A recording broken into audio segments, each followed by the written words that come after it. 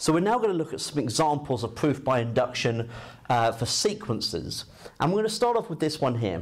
A sequence is defined by un plus 1, so the next term is 1 take away 2 lots of the previous term, where u1 is 2. So this is our inductive definition. Prove that un is a third of 1 plus 5 lots of minus 2 to the n minus 1. Okay, so this is the nth term of the sequence. Okay, so the first thing that we need to do, so step one, is prove true for n equals 1. Okay, so we start off with this step.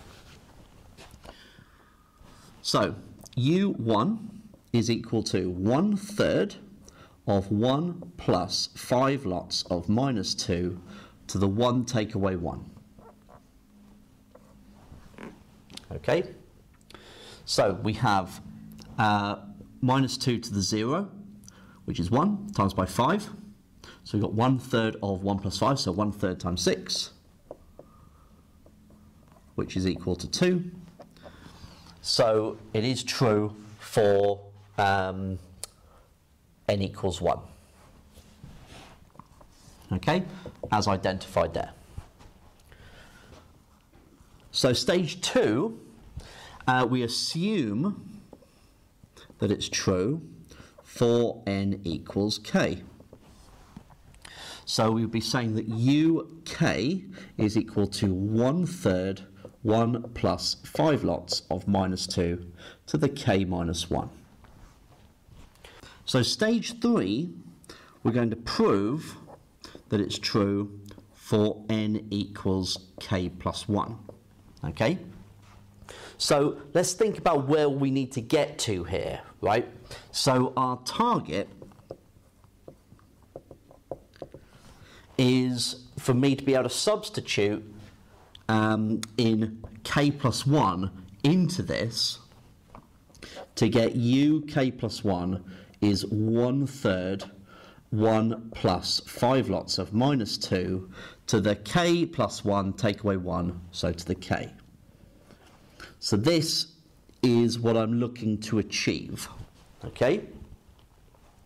So if we go back here then, so u k plus 1 is equal to 1 take away 2 lots of uk. Now remember, uk is one third this.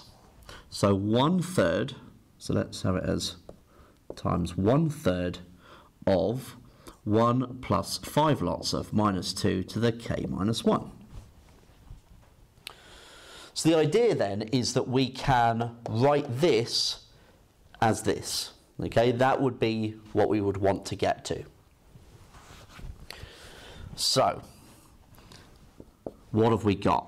So I'm going to multiply this through. Um, well, Mm, maybe not actually. Let's, because I know what I need to get to. I need the one third factor out. So could I bring one third out as a factor at the start? That'd probably be a better shout because I know that one third times three will make the one. And I'm going to have take away two lots of the 1 plus 5 minus 2 to the k minus 1. Okay. Right. Uh, with this extra bracket there. So we've got the one third.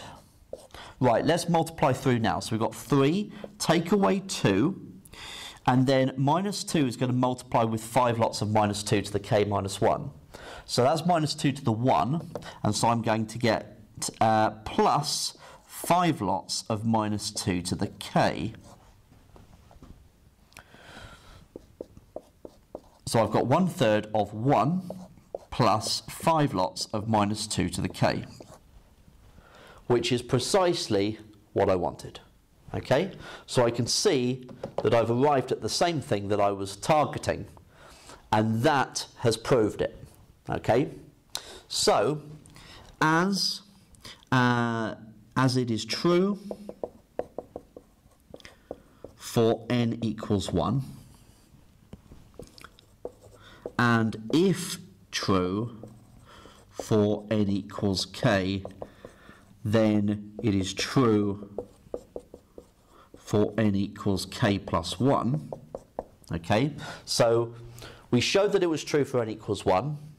We assumed it was true for n equals k, and we showed if that was true, then it's true for n equals k plus 1. So it is true for all n greater than or equal to 1. Okay, and that proves uh, the desired result.